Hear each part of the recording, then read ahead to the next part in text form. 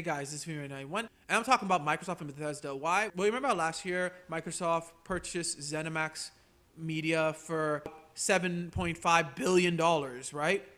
And ZeniMax Media is the parent company of Bethesda. They also own, I think, seven other development studios, right? Well, it's official now. They, they bought it last year, but it's now official. Microsoft owns ZeniMax Media, which means they own Bethesda. Well, according to Phil Spencer, I'm not going to read the whole thing. I was watching Review Tech USA's video.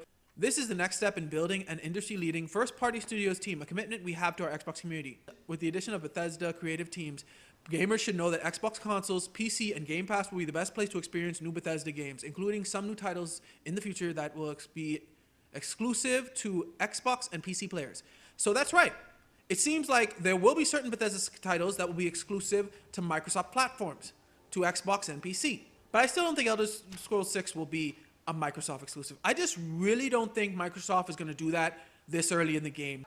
They just officially got ZeniMax Media. I really don't see Microsoft making Elder Scrolls 6 exclusive.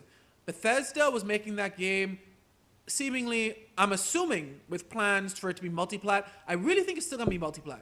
I just don't see Microsoft right now, at least, for Elder Scrolls 6 making that exclusive for their console and PC.